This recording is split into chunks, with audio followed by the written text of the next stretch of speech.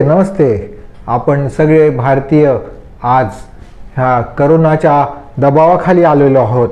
परंतु आपण त्याच्याशी कसा लढा द्यायचा आहे याविषयी माझे जे थोडक्यात जे मत आहे मी या छोट्याशा व्हिडिओमध्ये आपल्याला मांडणार आहे.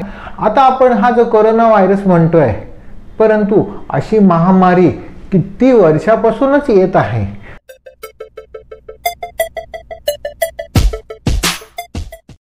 आता यामध्ये जो महत्त्वाचा मुद्दा आहे तो आपली प्रतिकार शक्ती. आणि त्या त्या अवयवांची प्रतिकार शक्ती याविषयी आपण थोडक्यात बोलणार आहोत.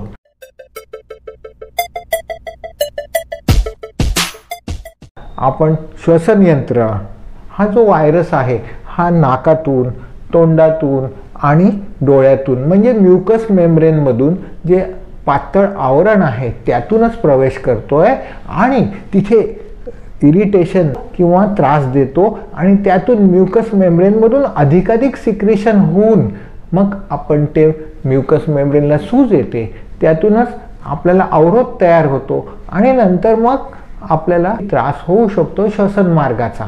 परंतु ह्याच जर का श्वसन मार्गाची काळजी आपणच स्वतः घेतली तर हे मात्र आपण त्याच्याशी चांगल्या प्रकारे प्रतिकार करू शकू.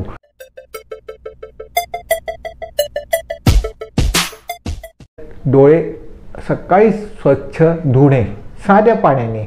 आणि जर का त्यात थोडीशी तुरटी जर का टाकली तर डोळ्याचे आजार पण होणार नाही. डोळे स्वच्छ होतील विमल होतील आणि पुढे कॅटरॅक्टचा त्रास तो पण होणार नाही. परंतु ही तुरटी अतिशय महत्त्वाचं अँटीव्हायरल आणि अँटीबॅक्टेरियल हे आहे. बघा पूर्वीच्या काळी विहिरीसुद्धा स्वच्छ करण्यासाठी तुरटीचा वापर केला जायचा. पाणी शुद्ध करण्यासाठी तुरटीचा वापर करण्याचा जायचा. आणि म्युकस मेम्ब्रेनवरती जे आवरण आहे त्याच्यातून सुद्धा पाण्याचा स्त्राव होत असतो की ते म्युकस मेम्ब्रेन ओलं राहिलं पाहिजे.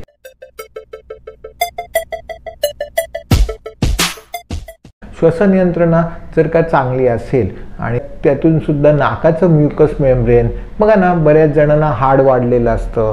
कधी कधी सर्दी असते. आता ह्यासाठी सोपा उपाय आहे म्हणजे वाफ घेणं. हां? प्रत्येकाला माहिती आहे की वाफ घेतली की आपोआपच तिथल्या रक्तवाहिन्या चांगल्या राहतात आणि हे कर पण वाफ घेताना आपल्याला थोडी काळजी घ्यायची आहे की जर का थोडे व्हायरस असतील ते अजून स्प्रेड न होण्यासाठी आपण कोबीची पानांची वाफ घ्यायची आहे. तर कोबीच्या पानांच्या वाफेमुळे आपोआपच डिसइन्फेक्शन व्हायला मदत होणार. त्यातील ॲरोमाची जी कंपाऊंड आहेत ती ते चांगलं करायला मदत होणार आणि आपण ते नाक पण मोकळं राहील हाडाची सूज पण कमी होऊन जाईल.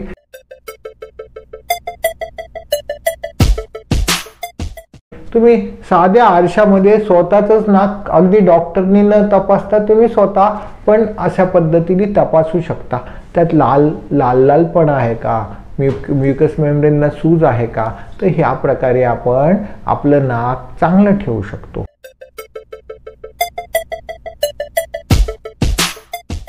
नाकाचा आतला श्वसन मार्ग. आता श्वसन मार्ग चांगला ठेवण्यासाठी आपण आपल्या घशाचा वापर करून घेऊ शकतो आणि घसा चांगला राहण्यासाठी साधी हळद आहे बघा आपली. त्याचे प्रॉपर्टी काय आहेत अँटी इन्फ इन्फ्लमेटरी आहे म्हणजे सूज उतरवणारी आहे. नंतर म्युकोलॅटिक आहे आतमध्ये कफ वगैरे असेल तो काढून टाकण्यासाठी आहे. अँटीऑक्सिडंट आहेत आता ही साधी हळद घेऊन आहे ना तुम्ही फक्त हिरड्यानं लावली. फक्त रात्री लावली किंवा दिवसा लावली आणि एक अर्धा तास जरी ठेवली होतंय काय? तिथून हिरड्यातून त्याचा वासाबरोबर आपोआपच घसा आणि सर्दी इवन टॉन्सिल आणि हे सगळं चांगलं राहायला मदत होते.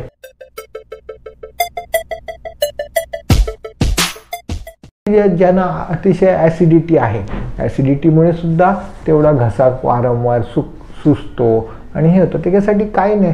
साधं आपण एकदा सकाळी आहे ना थोडासा खायचा सोडा घ्यायचा आणि त्यांनी दातांना आणि ह्याना असं नुसतं स्वच्छ केलं ना दाताचा पिवळेपणा निघून जाणार. आपोआपच तो भाग आहे ना अल्कलाईन राहणार आणि अल्कलाईन राहिल्यामुळे आपली ॲसिडिटी चांगली होणार.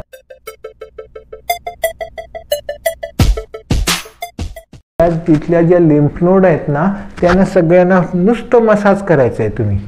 त्याने जागृत करायचं आहे. लिम्फनोड हा आपला महत्त्वाचा भाग असतो. आपल्याला काय करता येते? जर एखादा व्हायरस किंवा एखादा बॅक्टेरिया किंवा एखादं फंगस जरी आलं तरी ते लगेच त्याला रोखून ठेवण्याचं काम करतं आणि ह्यासाठी आपल्याला ही सायनसेस आहेत ना ती आपली चांगली ठेवली पाहिजेत. हे बघा हे इप इपमॉइड सायनस हे इथलं इथलं सायनस हे फ्रंटल सायनस आणि ह्यासाठी तुम्ही फक्त नुसतं असं थोडासा मसाज केलात आणि ह्या प्रकारे जर का तुम्ही सायनसेस आपली चांगली ठेवलीत तर तुमची श्वसन संस्था चांगली का चांगले कार्य व्हायला मदत करणार. हे बघा हे झायगोमॅटिक सायनस आहे. याला सगळं नुसतं मसाज करायचं आहे की तुमचा अर्धा जो श्वसन यंत्रेचा पुढचा भाग आहे हां तोच आपण चांगला ठेवू शकतो.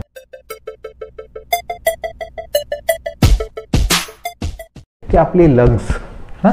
आपली फुफ्फुसं चांगली राहिली पाहिजेत आणि ही फुफ्फुसं चांगली ठेवण्यासाठी आपल्याला शुद्ध स्वच्छ हवा मिळायलाच पाहिजे. हां? आता त्यासाठी आपण छानपैकी पडदे लावू शकतो घरामध्ये. हां? आपण जो मास्क लावतो आहे किंवा जो साधा आपण जो रुबाल बांधतो आहे किंवा फिल्टर करून हवा घेतो आहे आणि ह्या स्वरूपामधून आपल्याला स्वच्छ आणि सुंदर आणखी सुवासिक हवासुद्धा मिळू शकते. आणि यासाठी आपल्याला तुळशीचा वापर अतिशय चांगल्या रीतीने करता येईल. हां? बघा तुम्हाला माहिती आहे पंचतुळशी म्हणून आता नवीन छानपैकी औषध आणले आलेलं आहे. तर तेच पंचतुळशी तुम्ही दोन तीन ड्रॉप फक्त आहे ना पाण्यामधून तुम्ही घेऊ शकता. हां? तर ते ॲरोमॅटिक कंपाऊंड असल्यामुळे त्याच्यात युजेनिन नावाचं अतिशय महत्त्वाचं अँटीऑक्सिडंट असतं. आणि ते आपल्या फुफ्फुसांना चांगलं बल देतं. व्हायरस आणि बॅक्टेरिया रिपेल करण्यासाठी. म्हणजे त्यांना मारत नाही आहे परंतु त्यांना त्याचा आपल्या शरीरात शिरकाव होऊ देण्यापासून आपल्याला बचाव करण्याचं कार्य करतात. आणि ह्यासाठी हा तुळशीचा ड्रॉप किंवा तुळशी नुसता काढा करून घेतला तरी चालेल. किंवा तुळशीची चहा केली तरी चालेल. तुळशीच्या काड्या चहाचा वाफ घेतली तरी चालेल. आणि आपला चेहरा पण टवटवीत होणार. फिमिगेशननी आपोआप बॅक्टेरिया पण निघून जाणार. आणि जर एवढा वेळ नसेल तर पंचतुळशी आपल्याकडे अवेलेबल आहे. महाराष्ट्र बाजारपेठ तिचं वितरण पण करते आहे. आणि त्याच जर का एक तर आपण मास्क लावतो आहे त्याच्यात एक थेंब जरी पंचतुळशी टाकलं आणि मास्क लावलं. छानपैकी स्वच्छ आणि निर्मळ अशा प्रकारे तुळशीची वाफ आपोआप जाणार. किंवा तुळशीचा वास आहे ना आपोआप जाणार. सगळी सायनसेस मोकळी होणार आणि ती लंग्सपर्यंत जाणार आणि आपोआप आपली प्रतिकारशक्ती अतिशय सुदृढ राहण्यासाठी मदत होणार. दुसरं हा जो वास आहे हा व्हायरस व्हायरसना रिपेल करणार. आणि यातूनच तुम्ही बघा आपल्याला हा करोनावरती आपल्याला विजय मिळवण्यासाठी एक हे हत्यार आपल्याला व आपली प्रतिकारशक्ती वाढवण्यासाठी महत्त्वाचं ठरणार आहे.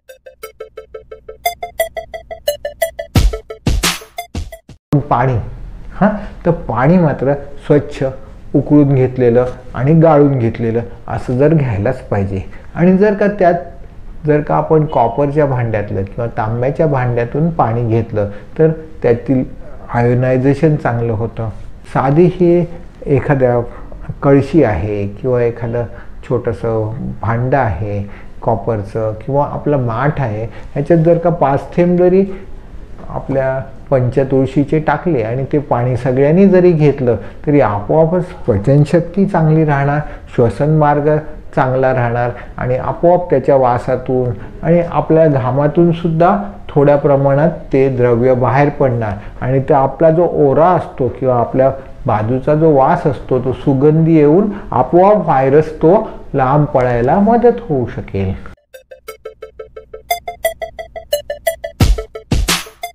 आणि पचनशक्ती सुधारण्यासाठी आपल्याला अध्याशन टाळायला पाहिजे. हां? वारंवार खाण्यापेक्षा भूक लागेल तेव्हा खा. दुसरं जे आहे ते आपल्याला संयमित आहार. संयमित आहारामध्ये काय येते तुम्ही अर्धपोटी राहा. अर्ध पोट भरून आपल्याला चारशे एम एलचं आपल्याला स्टमक दिलेलं आहे तर दोनशे एम एल तुम्ही छानपैकी खा. आणि त्याची त्याची प्रक्रिया बघा. आपला पंजा आहे ना त्याच्यावरती जेवढं राहील तेवढं खा. छानपैकी खा. हां? म्हणजे हे पोट एवढंच तुमचं आत जठर आहे ना तेवढंच मोठं होणार आहे. पण आपण ताट भरून खाण्यापेक्षा तर एवढं खाल्लं. आणि त्यापैकी पाव भाग म्हणजे जवळजवळ hundred to two hundred M L पाणी घेतलं. हां? तर ते चांगलं घुसळलं जातं आहे आणि चांगलं पचन होतं आहे अशा प्रकारे आपण तीन वेळा छानपैकी आहार घेऊ शकतो पचवू शकतो आणि पचनशक्ती चांगली झाली की एनर्जी चांगली राहणार. एनर्जी चांगली राहिली की आपल्या शरीरात टाकाऊ पदार्थांचा साठा होणार नाही. टाकाऊ पदार्थांचा साठा झाला नाही की आपली प्रतिकारशक्तीला पूर्ण वाव मिळणार आणि आपण निरोगी राहणार.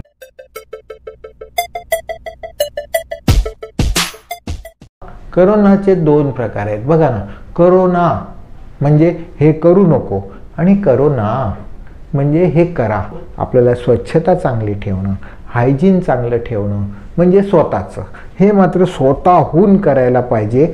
आपल्याला आपलं आत्मा आपलं मन आणि आपलं शरीर हे स्वच्छ निर्मळ जर का ठेवलं दुसऱ्याला मदत केली आपल्याला ज्या छोट्या छोट्या टिप्स सांगितलेल्या आहेत त्या तुम्ही जाणीवपूर्वक करा. आणि त्यातून फायदा करून घ्या स्वतःचा.